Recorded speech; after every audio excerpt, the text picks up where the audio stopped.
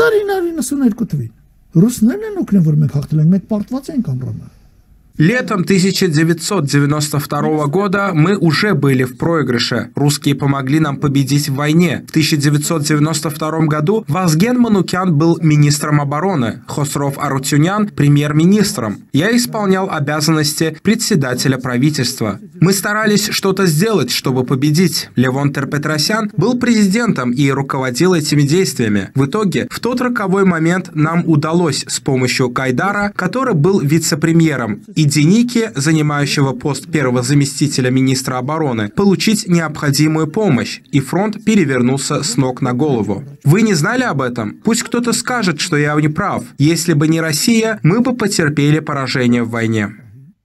Գայդարը եւ Դենեկայի օգնությամբ Գայդարը փոխվարչապետ էր Դենեկան էլ առաջի տեղակալն էր պաշտպանության նախարար ստանալ այն անհրաժեշտ օգնությունը անմիջական մարտական գործողությունը տեսքով որ ֆրոնտը շուռ եկավ